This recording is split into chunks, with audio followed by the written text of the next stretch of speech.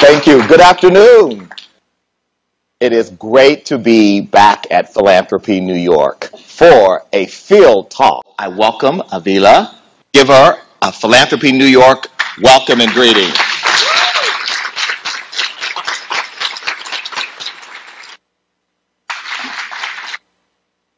Thank you very much, and it's great to be with you this afternoon. It's great to be uh, in New York and to meet uh, philanthropists from New York. And I want to talk this afternoon very briefly about community philanthropy. And you're probably saying, why would somebody from outside North America be speaking about community philanthropy? Only last year you celebrated the 100th anniversary of the Cleveland Foundation, the first community foundation uh, in the world. However, over the last 25 years, 74% of new community foundations, women's funds, place-based funders have actually been set up outside North America. And that's what I want to talk about. Because in many ways, it has been a bit of a hidden story, what's been going on in the, in the global south and indeed in Eastern Europe and across Russia. And the interesting thing about community foundations, women's funds outside North America is yes, they are funders, Yes, they mobilise resources, like, like community foundations do here, but they also do other things because their contexts are different. And here, for example, the director of the Kenya Community Development Foundation talks about essentially turning the development paradigm on its head. So when it came to actually sinking wells in, in, in villages to get fresh water in Kenya, they didn't call in the experts, or the engineers. They went first to the local communities. And he actually sort of said, what do you want? Where should we locate them? And hey, would you like to come along and give not money, but, but, but your, your, your skills, uh, your, your volunteer help in terms of sinking these wells? So in effect, it wasn't just the output that they were looking at, it was the process of getting to the output, and that meant that there actually was much more of a sense of local ownership and sustainability in terms of that initiative. Meet the Dalia Association, working in a very difficult situation across rural villages in Palestine. What they said was, really the need in Palestine is to re-energize local communities by affording them a sense of trust and respect. We've got these billions of dollars coming in in international aid, but actually local villages don't have a say in many cases in how that's spent. So what they did was they had a Village Decides program. Do you know how much money was involved? $12,000. But the villagers voted on what projects should be supported. And the villagers set up their own transparency and accountability committee. I met them eight weeks ago.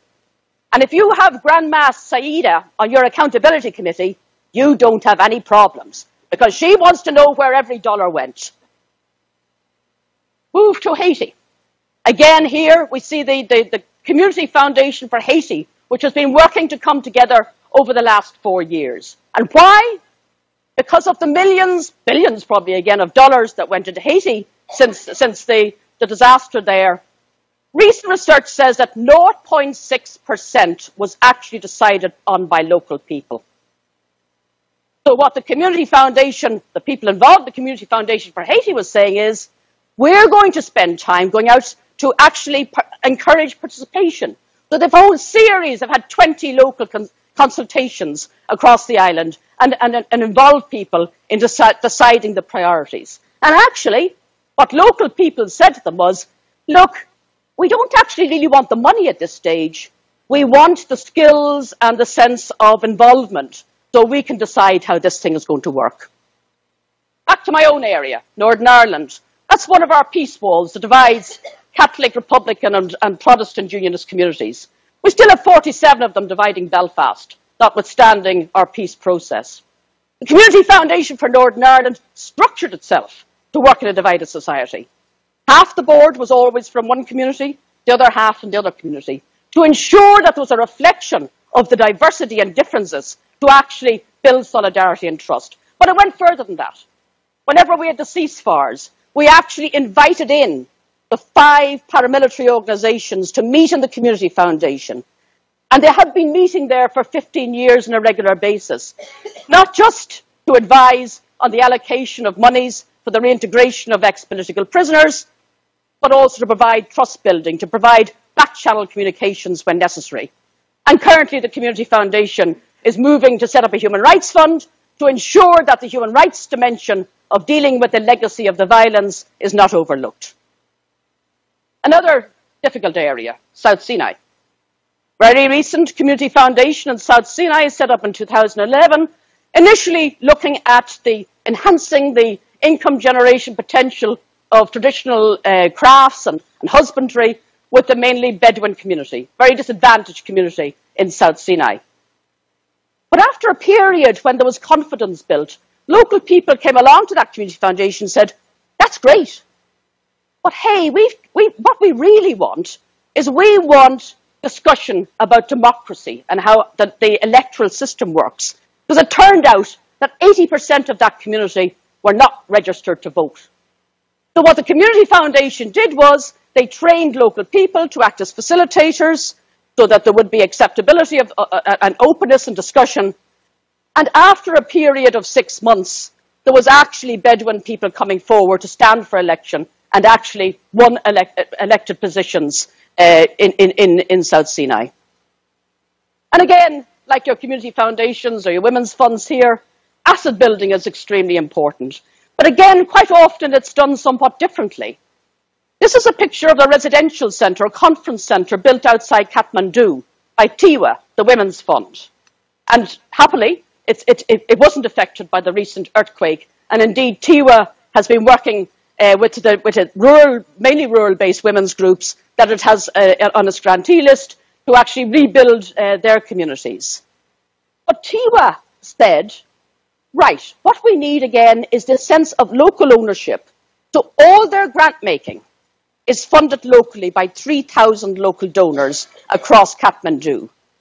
The centre was a partnership with international donors, but again, the grant making is bringing in uh, local donors.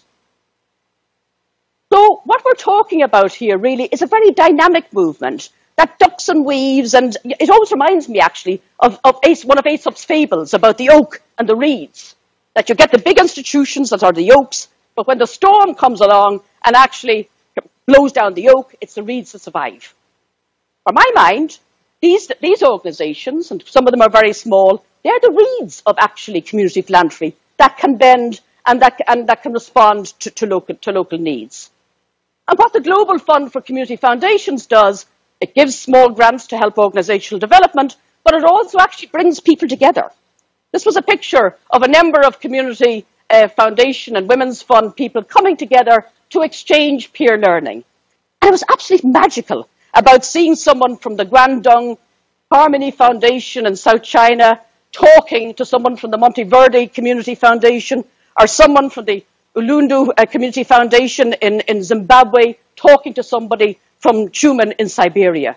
It actually overcame all those divisions when you actually got people saying, we share some of these issues and, and, we, and we want to share how we go forward. But the other aspect of, of, of peer learning, which, which I think is really important, is the ability to actually communicate between that sort of horizontal uh, learning across uh, communities and with donors like yourselves and others across the global north. And one of the more recent developments has been the establishment of the Global Alliance for Community Philanthropy, that indeed Ford and others are part of, to actually sort of say, well, is there also learning that we can take from what's happening in, in, at this, this local level? The Dalai Lama said at one point, if you think you're too small to make a difference, try sleeping with a mosquito. I actually take this, along with Gandhi's view that it's not what you give, but how you give it, as my two mantras. Because actually, if we are really talking about trying to make sense of some of these macro policies that, that we're involved in, and some of our macro visions in terms of how we go forward, we need to ground it in the local. Because otherwise, we're going to we're not going to bring people with us. We're not going to be relevant in terms of what's happening in these different societies. So if you want to know any more about the local connections uh, and, uh, and, and what's going on, both thematically, because one of the things we're looking at is how community philanthropy can actually deliver on specific thematic interests, be it human rights, or be it managing uh, uh rebuilding after disasters, but also regionally, then please do feel free to get in touch. Thank you.